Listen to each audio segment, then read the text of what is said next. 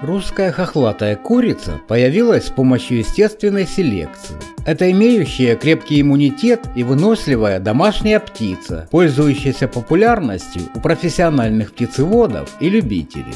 Появилась хохлатая благодаря искусственному отбору в XIX веке. Целью народной селекции была высокая выносливость и необычный вид. В результате порода русская хохлата способна выживать в сибирские морозы. Средняя курица мясо-яичного направления отличается изяществом и густым оперением. Универсальную породу разводят ради мяса и яиц.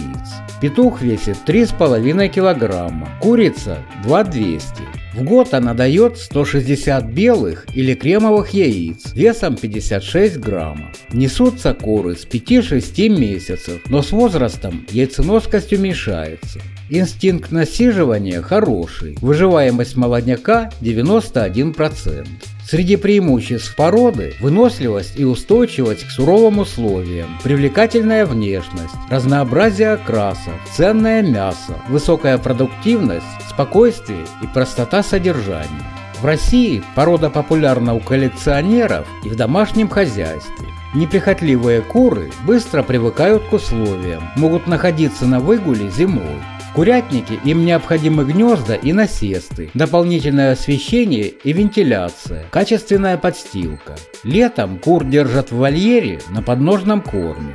Они любят зелень, овощи, зерновые, кукурузу, отруби, не отказываются от кормовых смесей. В рацион включают мел, ракушечник и скорлупу.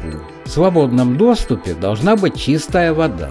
Для пищеварения нужны мелкий гравий и песок. Чтобы курица лучше видела, ей подстригают хохолок.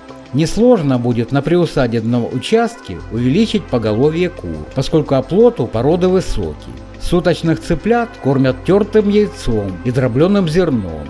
Затем вводят отруби, зелень и овощи. Русская хохлатая является отличным вариантом для начинающих, а прекрасная внешность кур гармонично впишется в образ усадьбы. Если вам понравилось это видео, то подписывайтесь на канал, ставьте лайки и до встречи в следующих выпусках.